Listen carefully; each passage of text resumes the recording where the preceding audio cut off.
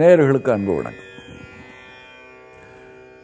பெரியவருடைய வாழ்க்கையில் வந்து நிறைய சம்பவங்கள். அந்த சம்பவங்களை எல்லாம் இந்த நிகழ்ச்சியில் நானும் நாள்தோறும் சொல்லி கொண்டு வருகிறேன். நான் இப்படி இந்த நிகழ்ச்சியில் சொல்லிக் கொண்டு வருவதை தெரிந்து கொண்டு நிறைய பேர் என்னை சந்தித்து எங்கள் வாழ்க்கையிலெல்லாம் இப்படியெல்லாம் நடந்திருக்கிறது இதையும் சொல்லுங்கள் என்று என்னிடம் நிறைய பேர் பகிர்ந்து கொள்ளுகிறார்கள். நிறைய பேர் வந்து கடிதமாக எழுதி அனுப்புகிறார்கள். அப்புறம் மெயிலெலாம் போடுறாங்க. இப்படி நிறைய விஷயங்களை நான் பார்க்குறேன்.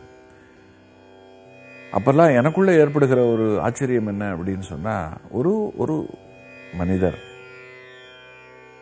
இவ்வளவு பெரிய தாக்கத்தை இவ்வளவு பெரிய ஒரு அர்த்தமுள்ள வாழ்க்கையை ஒரு மகத்தான கற்பனை கூட செய்து பார்க்க முடியாத ஒரு திருத்தொண்டை செய்ய முடியுமா? அப்படிங்கிறது தான். அது என்னையெல்லாம் என்ன செய்து விட்டது என்று சொன்னால் நான் செய்து கொண்டிருப்பதெல்லாம் ரொம்ப சாதாரணம். இதை போல இன்னும் ஆயிரம் மடங்கு செய்ய முடியும். செய்தவர் நமக்கு முன்னால் வாழ்ந்துட்டு போயிருக்கார் ஒரு வழிகாட்டி போல அப்படின்னு என்னை தூண்டிவிட்டு அது நான் இன்னமும் பல நற்காரியங்கள் செய்வதற்கும் மற்ற விஷயங்களுக்கும் எனக்கு ரொம்ப பெரிய உறுதுணையாக இருக்கிறது. அடுத்தது பெரியவர் வந்து ஒரு அத்வைதியாக இருந்தாலும் கூட அவர் வந்து எல்லோருக்கும் பிடித்தமானவராக எல்லோருக்கும் பொதுவானவராக மற்ற மதத்தவர்கள் கூட நேசிக்க முடிந்த ஒரு மகத்தான சன்னியாசியாக அவர் திகழ்ந்திருக்கிறார் அப்படிங்கிறது தான் இதில் இருக்கிற ஒரு உண்மை. நான் ஒரு வைஷ்ணவன். எனக்கு வைஷ்ணவ நெறி. நான் அதை விட்டு விலகினது கிடையாது. ஆனால் பெரியவரை நான் ரொம்ப போற்றுகிறேன். என்னுடைய இஷ்ட குருவாக நான் அவரை நினைக்கிறேன். என்னுடைய ஆத்மகுரு என்னுடைய ஆச்சாரியான். முதல்ல மானசீகமாக அவர்களுடைய பாதங்களை தொட்டு வணங்கிவிட்டுத்தான் மற்ற வேலைகள் எல்லாம் இஷ்டகுரு எனக்கு மகா பெரியவர் அவர் சொல்லி சென்றிருக்கிற அற்புதமான கருத்துக்கள். அந்த வகையில் அவருடைய வாழ்க்கையில் நடந்த சம்பவங்களை எல்லாம் நினைக்கும் பொழுது எனக்கு ஒரு வியப்பு. என்னுடைய வாழ்க்கையிலேயும் பெரியவர் அவர்கள் நிறைய அனுகிரக பிரசாதத்தை செய்திருக்கிறார். இந்த அழைத்து ஆட்கொள்ளுதல் என்று சொல்லுவார்களே அதுபோல் எங்கேயோ ஒரு மூலையில் இருக்கக்கூடிய என்னையும் அழைத்து எனக்கும் என்னையும் ஆட்கொண்டு எனக்கு அருள் செய்து இன்றைக்கு நான் ஒரு பெரிய பேச்சாளனாக இந்த தமிழ்நாட்டில் இருக்கேன்னு சொன்னால் அதுக்கு பெரியவருடைய பேரருள் ஒரு மிகப்பெரிய காரணம். அடுத்து என்னுடைய குலதெய்வமான தாந்தோணிமலை பெருமாள் அவருடைய அனுகிரகம் ஒரு காரணம். என்னுடைய ஆச்சாரியன் அகோபலமடம் ஜீயருடைய ஆசிகளும் அனுகிரகமும் ஒரு மிகப்பெரிய காரணம்.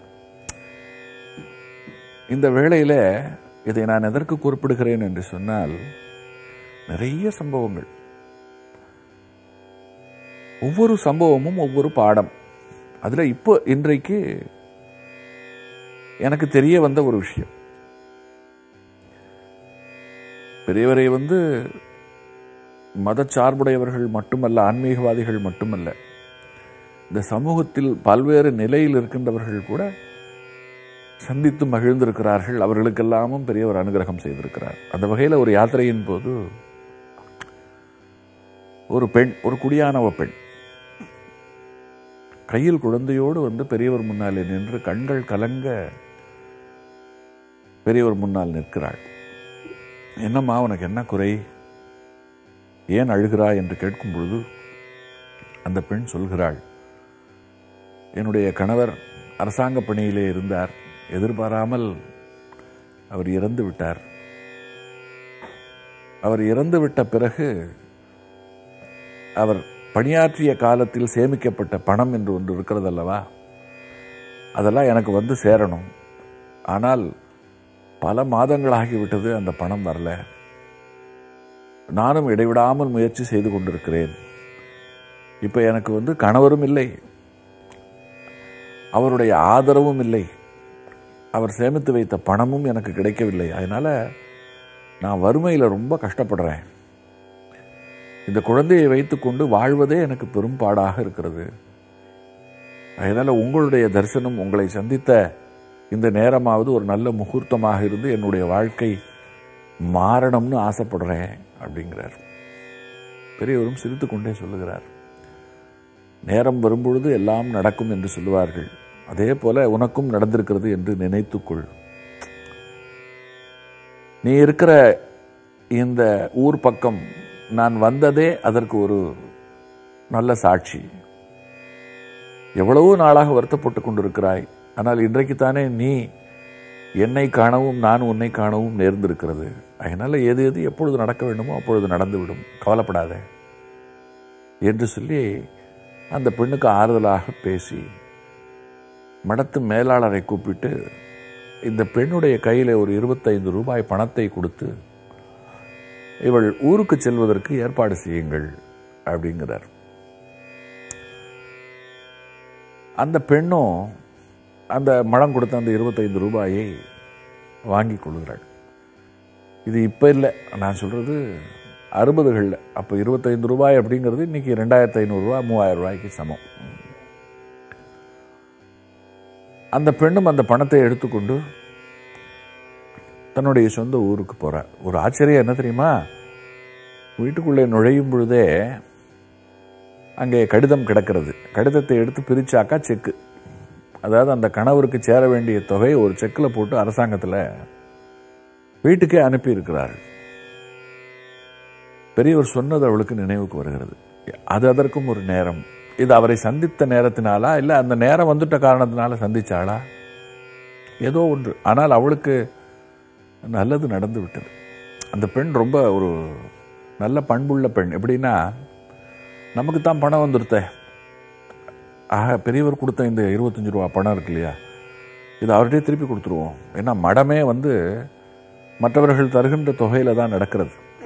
அதனால் நாம் வந்து மடத்தை சிரமப்படுத்தக்கூடாது. மடத்துக்கு நம்மளால் கொடுக்க முடியலன்னாலும் அதனுடைய சிரமத்தை நாம் வந்து குறைக்கலாம் அப்படிங்கிற ஒரு எண்ணத்தில் அப்படியே நன்றியும் சொல்லுவோம். இந்த மாதிரி பணம் வந்துருத்து என்று ரொம்ப ஆர்வமாக அந்த குழந்தையோடு திரும்ப வருகிறாள். வந்து பெரியோர் முன்னாலே நின்று உங்களை நான் தரிசனம் செய்த வேளை நீங்கள் என்னை ஆசீர்வதித்த வேளை நல்ல வேளை பொன் வேளை. என்னுடைய கணவருடைய சம்பாத்திய பணமே எனக்கு கிடைத்து விட்டது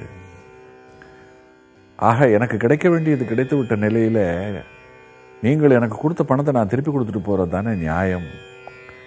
என்று சொல்லி அந்த பணத்தை முன்னால் வைக்கிறாள். பெரியவர் சிரித்து கொண்டே பரவாயில்ல இந்த பணத்தை நீ எடுத்துக்கோ. இது உனக்கு நான் உதவியாக தந்தது. இதனால எந்த குந்தகமும் மடத்திற்கு வந்து விடாது அந்த பணமும் இருக்கட்டும் இந்த பணமும் இருக்கட்டும்.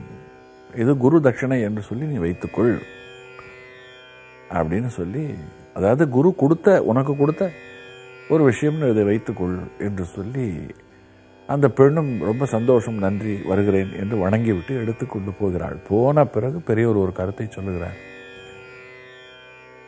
இந்த பணத்தை நான் வாங்கி கொண்டிருந்தால் ஒரு வட்டிக்கு விட்டு பிழைக்கின்றவர்களுக்கும் எனக்கும் என்ன பெரிய வேற்றுமை இருக்கிறது?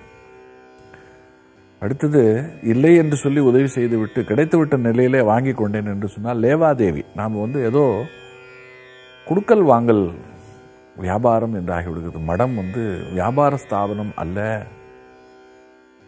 அது பிறருக்கு உதவி செய்வதற்காக பிறருக்கு வழிகாட்டுவதற்காக. அதில் ரொம்ப கவனமாக இருக்கணும் என்று அந்த பணத்தை திருப்பி வாங்கி கொள்ளாததற்கு பெரியவர் சொன்ன அந்த காரணம் இருக்கிறது. அதான் ரொம்ப முக்கியம். அவர் ஒரு மடாதிபதியாக எத்தனை கவனமாக இருந்திருக்கிறார் அப்படிங்கிறது இந்த ஒரு சின்ன சம்பவத்திலிருந்து நமக்கு தெரிய வருகிற ஒரு பெரிய விஷயம் இல்லையா? தொடர்ந்து சிந்தி குருவே காம கோட்டி குருவே.